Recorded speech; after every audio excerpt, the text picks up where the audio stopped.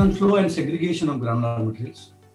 As uh, in my introduction, I'm working as a professor in Gharda Institute of Technology, Ratnagiri, uh, in Department of Chemical Engineering. Uh, thanks for giving me an opportunity uh, presenting my work in front of at international level. Uh, these are the uh, people or work which is done by various researchers on granular flow in India, like Devang Khakhar, who was my guide, Kumaran Keshavarao and Prabhu Nott from IISc Bangalore, and he's my senior. I will not discuss more on this. Uh, this is the brief outline. Uh, I'll be talking on introduction, applications, some experimental work, and DEM simulation, and in the end, uh, challenges of the same. What do you mean by granular metals? Uh, granular metals are nothing but collection of discrete solid particles. They are not in a continuous nature. You cannot apply continuum approach while understanding or of study of granular materials. Uh, if you look at the images starting from kitchen materials like you know different pulses, uh, these polymeric materials, steel balls, avalanche, land, sorry, landslides, sand dunes, and rings of Saturn. The typical range is 100 micrometer to few millimeters. And if you look at the range, it, I can say that it present almost everywhere around us. These are some motivations and issues regarding the granular metals. Granular metals are the second largest material which is uh, handled in industry after water. So it is available in uh, ample quantities or you know treated widely in all the industries, right? Even in natures. The main concern is the governing equation which is established for fluid mechanics, similar kind of kind of Navier-Stokes or you know momentum balance equations, mass balance continuity equations. These governing equations are not yet established or there for the, this granular flow. Its analysis and designing also difficult. People normally uh, design based on the experience, but it is very, very difficult. To validate this also, right, at large scale, it is very, very much difficult. Normally, the particles get segregated because of its size, shape, and density, even as well as surface. Even it is too difficult to get you know repeatability of experiments. And even if you do a 10 times there will be a standard deviation. This is a huge scope from industrial point of view and modeling using discrete element method is widely used in industries. These are some representative applications of starting from agriculture and foods to pharmaceuticals you can see fluidized dryer tablet coatings, rotary kiln, blenders, ball mill, jaw crushers, everywhere these granular metals are handled. The understanding of these granular materials is very poor from industrial point of view. Even there is no any specific course, even at undergraduate level. So even not only in chemical engineering, but material science, nanotechnology, mechanical engineering, civil engineering, geological engineering, nowhere such kind of courses are available where undergraduate students can learn. So this is very, very important. I'll be talking on one of these granular process. So I have chosen blast furnace. Blast furnace is typically uh, uh, used to manufacture steel, right? 60 to 70% of steel in the world is manufactured by using blast furnace. Uh, this blast furnace is, uh, if you consider the dimension of blast furnace uh, at, a, at a real level, the height is almost 90 feet, which is 30 meter, and diameter is 30 feet, which is 10 meters. So 1 is to 3 ratio, right? But the residence time which is spent by the gas inside the furnace is hardly seven to eight seconds. So utilization of this is very, very poor. And that was one of the problems, right, uh, which I uh, am going to discuss uh, as a flow and segregation of ground material. So just to understand how segregation takes place, it is difficult to carry out experiments at, you know, uh, at large scale on, you know, blast furnace. So we have decided to have a simplified model of blast furnace. And uh, this, this is uh, experimental setup where this, the, the aluminum plate acts as an inclined chute, which is used in a, in a blast furnace. This acts as an hopper to supply the material. And the gray part you can see on right schematic diagram, the is typically a formation of heat once the material is poured from the uh, you can say from the chute or when you pour any material. What happened during this pouring? Just imagine there is an pouring of large and small particles. So you can imagine, you can see uh, the red particles are large in size and blue are small in size. So what happened during flow? Because of, though the, the material are same, because of difference in size, the larger particle travel a large distance and settle at the one corner. Smaller particles settle at the other corner. So if you typically consider the blast furnace, uh, the heat formation length, which is in, in diameter of 30 meter, even if you consider half of the diameter, that is 15 meter, and if you consider diagonally, right, by using Pythagoras theorem. So we'll have a more than 15 feet, uh, 15 feet as an length of the, you can say, inclined chute. So the, the inclined chute or the distance is sufficient for particle to get an extent of segregations. What happened because of these segregations? Uh, if all large particle comes together, so you can you can see in the first image, all are coming together. Hello, hello, can you hear me? Hello, hello. Yes, yes, we are able to hear you. Yeah, sorry, I thought I I, I got disconnected. No, so. Yeah, yeah, thank you. So what happened? Uh, because of this, uh, the the the large particles together, then you can see the middle one that is all small particles comes together, and the end one which talks about the the the the mixture of both. Now, because of this, what happens? The distribution of gas is, is very very poor, and, and that's uh, you know affects the functioning of, the blast furnace. So this is the uh, typical problem in not only in a blast furnaces but in in many in many operations or at many uh, uh, flow or heat uh, where this such type of arrangement is normally done. So during flow, what happens? The particle gets segregated. So we have all large together, small together, or either mix. So if you look at these three different conditions, we'll have a, a different porosity, which in turns affect the uh, performance of blast furnace. This is the schematic diagram where uh, of schematic like experimental setup of blast furnace where we did a lot of experiments and uh, that experiment talks about uh, different uh, Uh, size, density, then composition, volume of pouring, height, size ratio, and then we capture image. I will just explain one of the experiments and then I will proceed. I hope this screen is visible. So if you take a mixture of particles, and if I if I add the mixture of particles over here of large or small, then they combine together, and then then then they drop down and then they form a heap.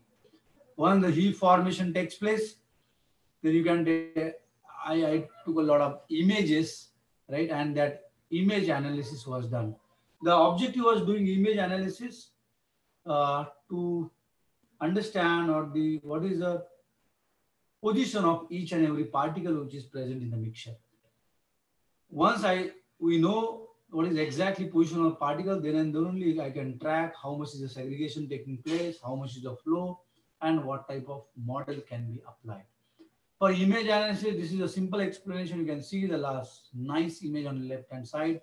If you if, if I consider this square bracket of small particles, the everyone knows that every image contains of red, green, and blue. By taking that as an advantage, we did an image analysis, and uh, the, there was an in-house code written in which we have measured the uh, pixels and the uh, particle size. So you can see uh, in this particular image, where this is the actual image, where black spot and uh, large white spot and small white spots. The large white spots are of large particles. These are the basically steel balls which whose images are captured from this particular region. And uh, everyone knows that these, halogen, these steel balls, if you put halogen lamp or halogen in front of the image, that steel ball will get reflects. And we took that advantage. And this uh, detected particle white cluster converted into binary image and then binary image to the you can see red particles or red dots are large particles which are of 2 mm size and small particle are 1 mm size. So images are taken by using Nikon camera. This is the resolutions. One pixel corresponds to this many millimeters. And based on the radius of gyration, we characterize the size of the particles. What happens uh, or for analysis, what we have done, we have used the, the geometry in such a way that this, this, this particular part, which is, uh, as I already mentioned in this, my experimental setup, right? So what we have done, we have divided two region, top region and bottom region, and particular length is called as flowing layer thickness. And that flowing layer thickness we have plotted across the uh, uh, the length and x, y, and all. So basically, this small x indicates the flowing length, and capital X and capital Y are the you can say actual image positions, which we have changes by using x cos theta and y cos theta. Now, after like we repeated each experiment almost eight times, and uh, then we have taken a standard deviation over eight experiments and you can see when we have a different percentage of particle, I will just explain one of those, these uh, results, which is nicely seen on the right hand side. You can see the blue part indicates the small particles. The red part indicates large particles. So when I have a mixture of 25% 2 mm particles and 75% 1 mm particles, in second case, I have 50% 2 mm. So obviously 50% 1 mm. And in third case, I have 75% 2 mm and 25% 1 mm. So when I change the composition from 25% of large particle to 75%, segregation patterns you can see changes a lot. So uh, what I, we can say that the in the first image where you can see some stratification patterns has been observed, which is not observed over here.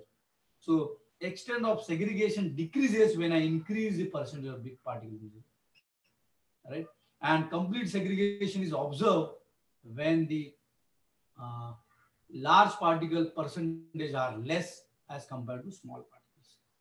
Another important point is these 15, 25, and 35 are nothing but the depth in terms of Y. So I mean to say that this is the surface uh, uh, where it is a zero and from zero we have measure like we have taken a 10 millimeter by layer thickness. Layer thickness calculation is done by the, the, the experiments uh, in which we have pour small particles and large particles intermittently instead of, in, inter, instead of continuous.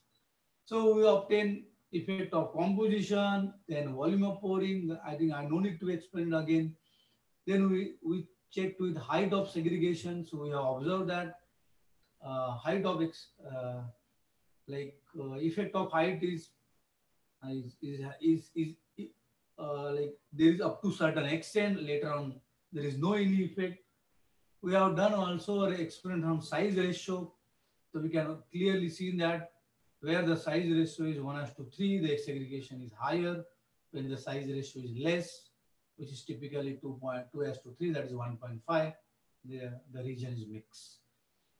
Even you can see this weight fraction of big particle versus the position x, which is plotted in this. This was a static experiment. Then we performed dynamic experiment, same setup, no change. The only thing is the images are captured at the middle of the experimental setup.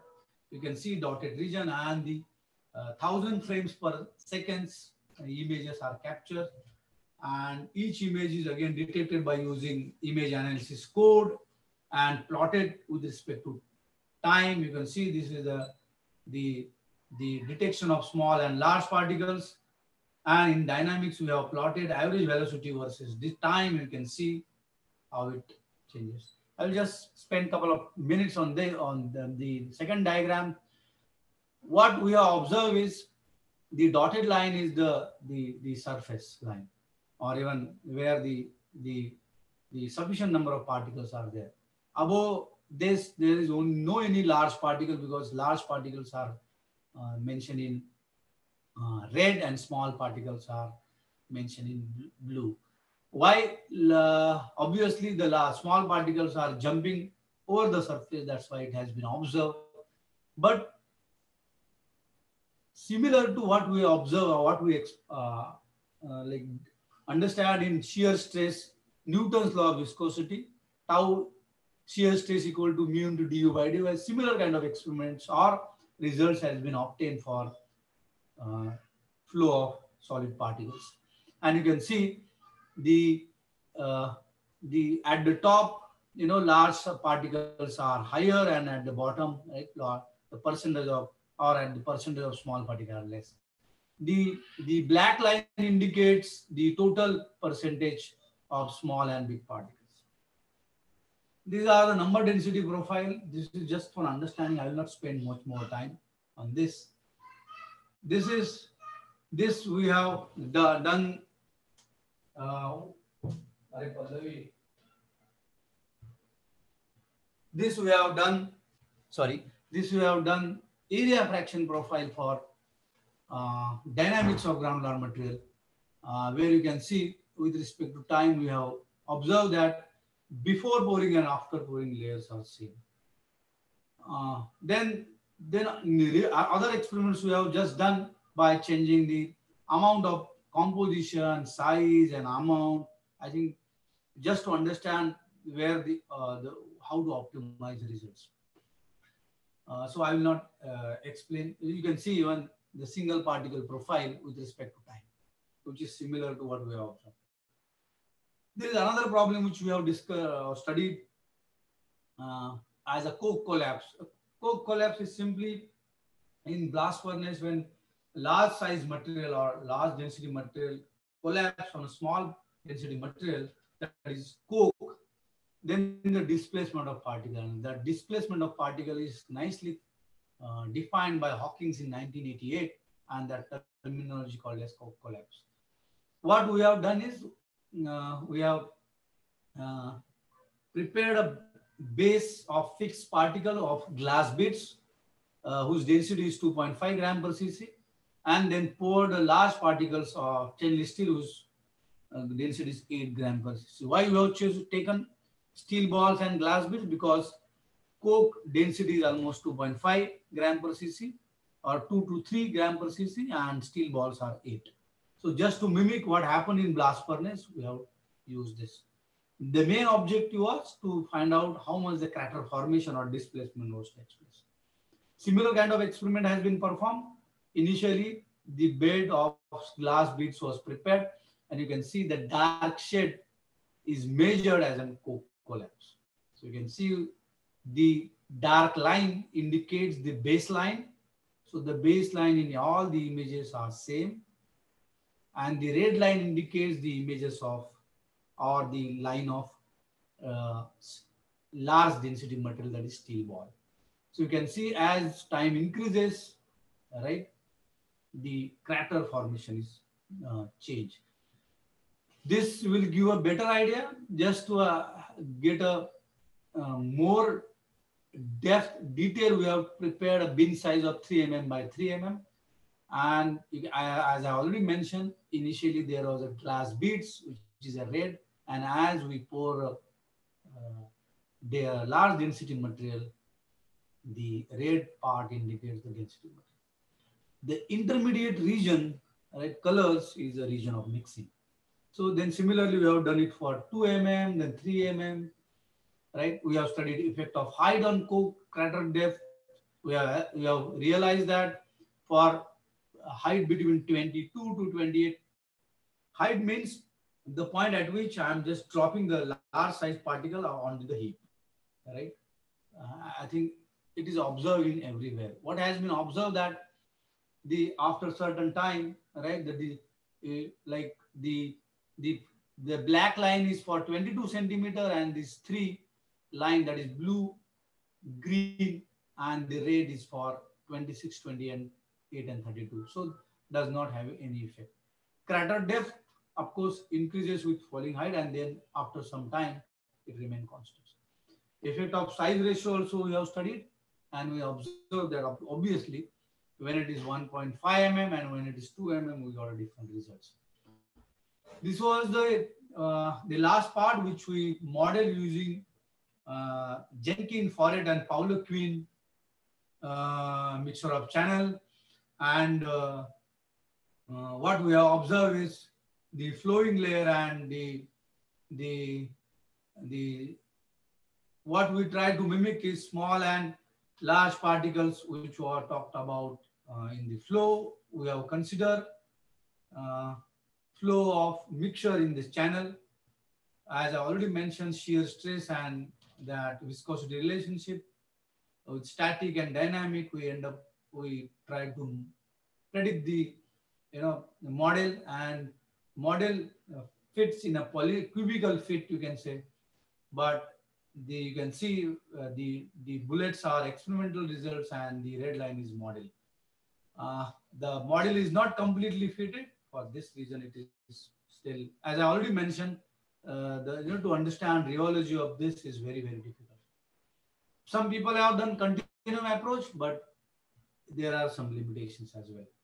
DEM simulation, that is discrete element method is the best approach where it talks about very famous Newton's law of motions, where there is a force and mass, force is equal to mass into accelerations.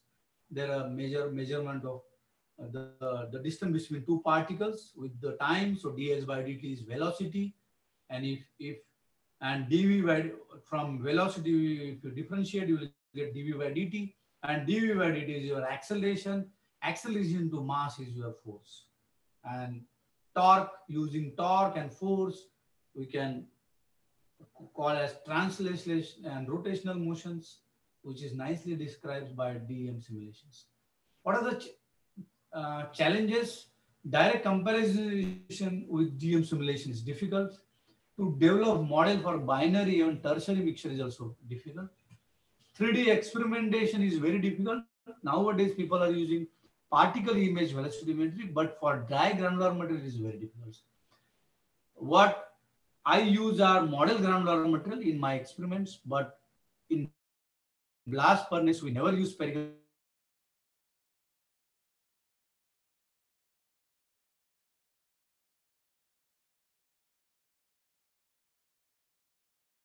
particles, there are non-spherical particles, solution is simulations. And in the end, if you add cohesive or uh, some some binders, then cohesive forces will come in picture or even the size is less. Powder flow is very difficult. Sorry that I have taken a, uh, like because of technical problems, right? So I, thanks to Tata Steel, IIT Bombay, where I did my PhD and Scientex conferences for giving me an opportunity. Second time,